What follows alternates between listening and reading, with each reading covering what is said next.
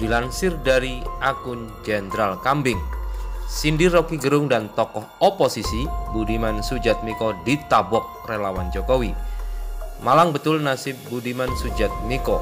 Glorifikasi diri yang dibalut sindiran mantan Ketua Partai Rakyat Demokratik atau PRD di era Orde Baru yang kini menjadi wakil rakyat dari PDIP ini kepada Rocky Gerung dan Said Didu dan tokoh oposisi akhirnya berbuah serangan balik bertubi-tubi.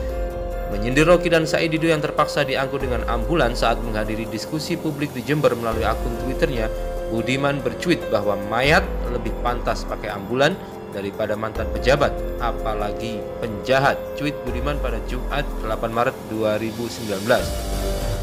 Cuitan Budiman ini ditanggapi Wakil Ketua DPR RI Fahri Hamzah. Dengan bijak Fahri mengingatkan Budiman untuk tetap fokus pada adanya kemungkinan persekusi. Bung, Bukankah perhatian kita harusnya adalah persekusi kepada diskusi dan seminar?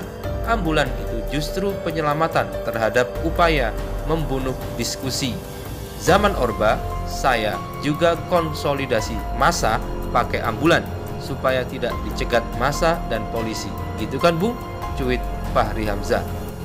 Tak diduga, sindiran Budiman mengenai ambulan ternyata justru mengenai telak relawan Jokowi Fakta ini diungkap warganet yang mengunggah tangkapan layar berita pernikahan Putri Jokowi Kahiyang Ayu.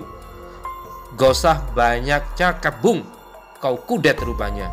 Kemarin anak Jokowi mantenan terus ada yang ikut ngeramein pakai sekian unit ambulans. Kau anggap mayat ya? Kau jangan kebanyakan makan bola salju apilah bung.